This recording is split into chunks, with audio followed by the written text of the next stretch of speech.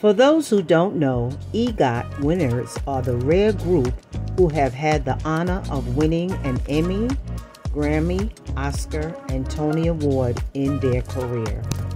Whoopi Goldberg was the first black actor to achieve the honor in 2002.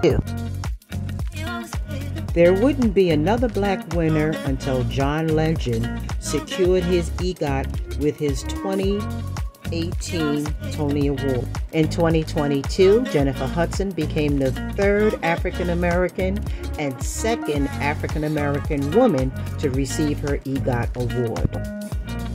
Viola Davis is the third black female EGOT winner this year 2023. Congratulations to all our EGOT winners. Celebrating Black History Month, honoring the past, inspiring the future.